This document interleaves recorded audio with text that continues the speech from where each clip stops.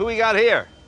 Our sons. Sam. This is Ben, Hi, Ben. nice to meet you. and this is Sam. Sam, how you doing? Buddy. Now I got to ask you guys a question. What's it like having a giant 12-year-old for a dad? Is it is it is it different? Is it weird? It's fun. It's always fun.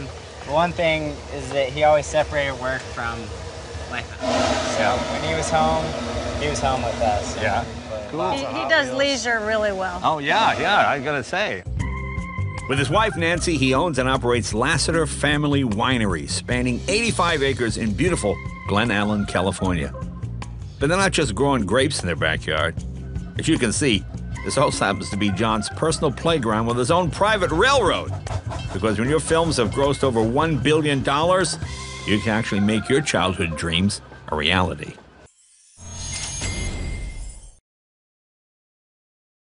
Hey, CNBC fans, thanks for checking out our YouTube channel. Here you'll find videos from all your favorite CNBC shows. Be sure to subscribe by clicking right here.